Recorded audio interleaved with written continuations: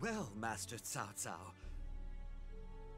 I hope this banquet, a symbol of my unconditional surrender, is to your liking.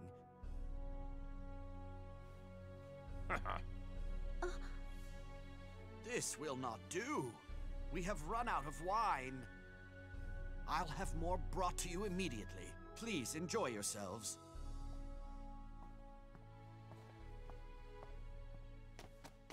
This... this is what you wanted, right? It will do, I suppose. Well then, it's time for us to join the party.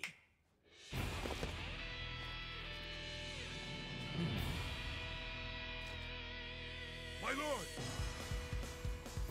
Huh. I expected some contrived little ploy. My life Leave it to me!